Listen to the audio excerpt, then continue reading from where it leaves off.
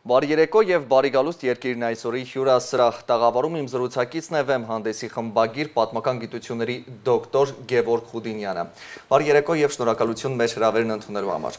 Համայնայությունը այսօր նշում է Հայաստանի առաջին հանրապետության հիմնադրման 101-րդ տարեդարձը։ Կուզենայի օրվա խորհրդից սկսեինք մեր զրույցը։ Գիտեք, այսօր հայոց պետականության վերականգնման օրն է, որը մենք կորցել ենք միջնադարում եւ հարյուրամյակներ շարունակ մենք պետություն չէինք ունեցել այնպես որ մի մասը նշում է որպես այս տոնը կապված այսպես կոչ հանրապետության նոր մի մասը անկախության նոր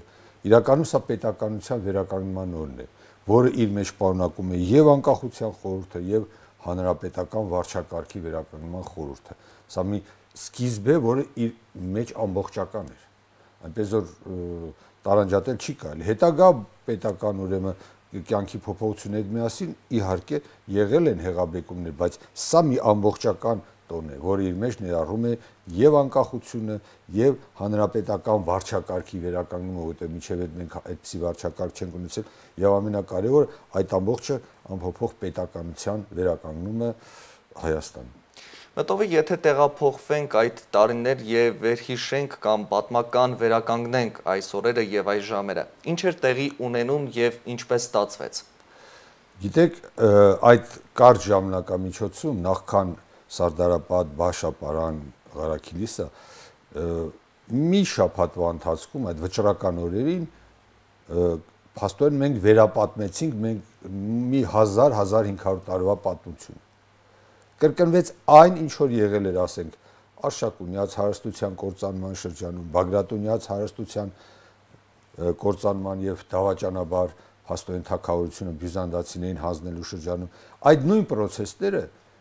հայերին բնորոշ այդ հատկություններով կրկնվեցին նաեւ 18 թվականի ուրեմն մայիսյան այդ օրերին։ Միայն մի տարբերությամբ, մի այս անգամ հաջողվեց շրջել մեր պատմության անիվը եւ թույլ չտալ, որ շարունակվի մեր անկման անիվը եւ դա տեղի ունեցավ շնորհիվ ուրեմն հայոց ազգային խորհրդի կողմից Երևան ուղարկված Արամ Մանուկյանի նրա կուսակցության եւ իհարկե հայ զինվորականության, որը համախմբվել էր հայկական կորպուսի շուրջը։ Ինչ տեղի ունեցավ։ Հիշեք ինչպես են մեր հաջորդական պետությունների կործանել։ Եղել է նախարարների կենտրոնախույս ձգտումը, որոնք դավաճանել են թակավորին, եղել է նաև հոգևոր առաջնորդների դավաճանական քայլեր, ինչպես Անիի թակարության կործանման շրջան։ Այս անգամ էլ նույն սցենարն էր կրկնվում։ Թուրքական բանակը հարձակվում էր, Ալեկպոլը առանց կռվի հանձնվել էր Գյումրին, այսինքն, եւ Երևանի վերնախավն էր զգալով որ սա վերջին քաղաքն է, որոշել էր ինքն էլ հանձնել քաղաքը եւ այդ դիմադրական ամբողջ աշխատանքը, որ նախապատրաստական արևել էր Արամի գլխավորությամբ, ազգային խորհրդի գլխավորությամբ, զինվորական, դրանք բոլորը ուղղակի ջուրն էին թափվելու, ջուրն էին թափվելու, եթե այդ այս անգամ չդրսևորվեր վճռականություն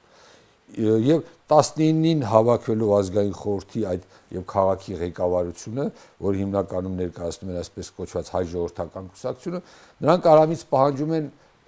խաղաղ հանձնել քաղաքը, տեղափոխվել նոր Բայազեդ, որ դիմադրությունն ան, անիմաստ է, Արամը նրանց պատասխանում է, որ ոչ մի նահանջ, ոչ մի գծի վրա, որովհետև Երևանը մենք պիտի պահենք, մենք Երևանը ոչ հոգի չենք տալու, որտեղ այս դեպքում մեր բոլոր մուրազները, մեր երազանքները կկործանվի եւ վճռականորեն պահանջում է կռվել։ Դրանից հետո նրանք գախնի ժողով են անում այս ջերմուղի շենքում, քաղաքի վերևի մասում եւ հաջորդ օրը 21-ին այն օրը երբ որ Սարդարապատը գրավեց թուրքերի կողմից այդ կայարանը Երևանն էլ գրավում է քաղաքի խուժանի կողմից, որոնք Արամի մահն են պահանջում, Արամին դավաճան անվանում, Թուրքիա եւ այլն եւ այլն, եւ այդտեղ արդեն դրսեւորվում է ազգային խորհրդի ղեկավարությամբ եւ Արամի վճռականությունը։ Այդ խռովությունը ճնշում են, ջախջախում են ուղակի խռովարների ղեկավարին սպանում են, ուղակի գնդակարում են հենց ազգային խորհրդի առաջ եւ միանգամից փոխում ժողովրդի տրամադրությունը ու արդեն երեկոյան ժողովուրդը շարժում էր դեպի Սարդարապատ, հավաքում էր զենքեր ստանում եւ այլ եւ այլ։ Դե պատկերացրեք ինչ կլիներ, եթե վճռական հայկական վճռական հարցակման օրը, այսինքն սեպտեմբեր մայիսի ուրեմն 22-ին, երբ որ մենք արդեն հարցակման անցանք, իմանային, որ Արամը չկա, Երևանը գրաված է ինչ որ խուժանի կողմից, ժողովուրդը նահանջում է դեպի Բայազեդ։ Դա կործանում էր նշանակում։ Այստեղ անհատի դերը եւ կազմակերպված ուժի դերը վճռական էր պատմության մեջ վճռական էր այդ պահին որովհետեւ ընդհանրապես քաղաքականության մեջ այսպես է ասում են վճռական նշանակությունն են օբյեկտիվ գործոններ, մի մասն ասում է սուբյեկտիվ, մի մասն ասում է հասարակությունն է, կարևորագույն դեր խաղում, մի մասն ասում է ոչ անհատ։ Տվյալ պարագայում, երբ որ պատմաքաղաքական գործընթացները զարգանում են, այսպես ասած, քրիտիկական սցենարով, եւ որ դրված է կյանքի մահվան հարցը, եւ որ պետք է վճռական քայլեր, պատերազմ է, ապստամբություն է, խռովություն է եւ այլն եւ այլն, վճռական դեր է խաղում անհատը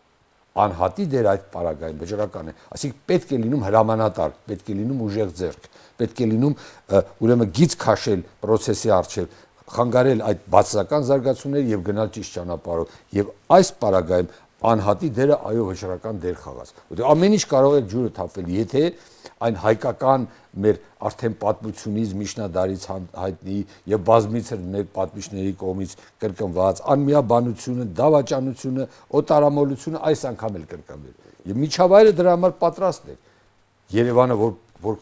վերջին կետներ աշխարհագրորեն ուրիշ տեղ նահանջելու տեղ չունեինք, այլ հարմար քաղաք չկար ուղղակի նույնքան արհանմար էր իր ուրեմն բնակչությամբ, իր ուրեմն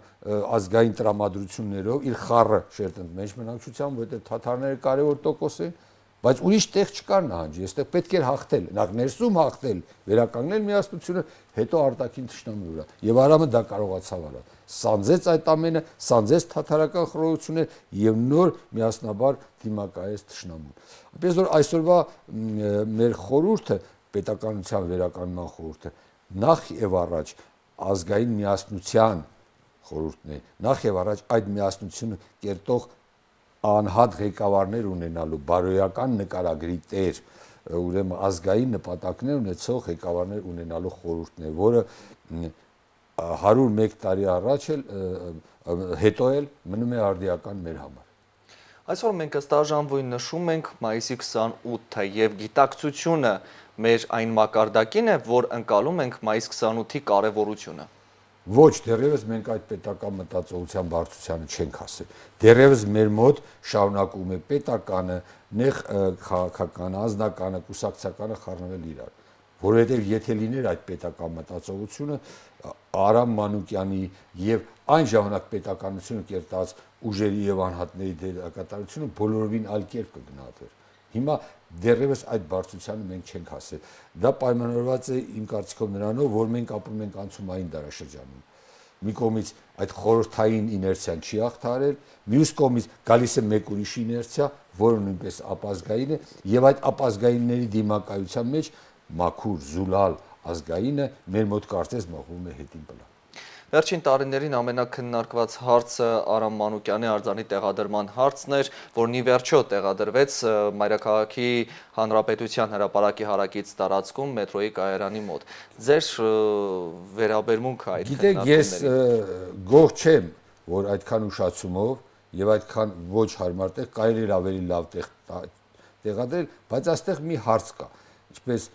տարբեր ժողովուրդներ են ասում, տարբերակ չկար, որ Արամի արցանը չլիներ։ Այսինքն դրանից ով է լիներ չէր կարող խուսափել։ Արամը այս պետականության հիմնադիրն է։ Նա պիտի կենտրոնում արցան ունենա, ուրիշ ով պիտի լիներ։ Ես չեմ ասում դա ամենալավ տեղն է։ Ես չեմ ասում թե ամեն ինչ ընտիր է, բայց ուրիշ տարբերակ չկար, այսինքն դա քննարկման առարկա չի կարող լինել։ Կարող են մեկը բողոքել, ասել, գիտեք, այստեղից մի քիչ կարելի է կոմ դնել, կարելի է տանել հենց հարաբարակի կենտրոն, բայց ցանկացած ազգ իր պետականության հիմնադրի նոր ժամանակներում որ վերականգնել է այդ պետականությունը, չի կարող իր կենտրոնում արցան չդնել, այսինքն դա նույնիսկ սկզբունքորեն տեսականորեն անիմաստ բանավեճ։ Վերականգնելը առհասարակ նաև մարդկանց հոգեբանության մեջ ինչ տվեց այդ տարիներին։ Գիտեք, մեր մոտ այդ նոր հոգեբանությունը վերականգնեց էլիտար մակարդակով, այսինքն կար քաղաքական ուժ, որ դավանում էր ազգային պետականության գաղափարը, կար զինվորականություն, որ գնում էր նրա հետևից,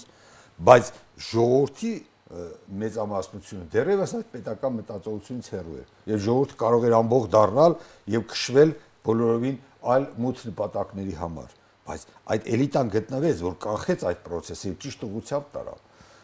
հիմա մեր ժողովուրդը իհարկե քաղաքական գիտակցության այլ ավելի բարձր մակարդակի է բայց ես չեմ կարող ասել, թե այդ process-ը հասունացման process-ը ավարտվել է, չի ավարտվել։ Եվ հիմա գտնում ենք այդ հասունացման կարևոր հանգրվաններից մեկում եւ այս process-ում, այս ընթացքում մենք պիտի հասկանանք, որ Արամը դա մեր բոլորի համար ընդհանուր տան ստեղծողն է, հիմնադիրն է, փրկիչն է։ Եթե դա չլիներ, հիմա չէր լինի այն մնացած բոլոր հարցերը, չէր լինի Հայաստան պարզապես։ Շատ բարի։ Ինչու մենք քննարկեցինք միմյանց հետ, թե ինչու Հայաստանում այսօր այսօրը ըստ աժանվում եւ գիտակցական մակարդակով չկա եւ չի նշվում։ Ինչ տարբերակներ կառաջարկեք, ինչպես եք տեսնում այդ գիտակցական մակարդակը թեկուզ նոր սերնդին արդեն մատուցելու եւ իրենց մեջ ներդնելու համար պետականության վերականգնման օրը պետք է հստակ առաջի պլան նորի պետականության եւ պետականությունը պետք է տարանջատի մնացած բոլոր շահերից պետականության վերականգնման օրը որպես հանրապետություն հանրապետական վարչակարգ նույն երբեք չենք ունեցել հանրապետություն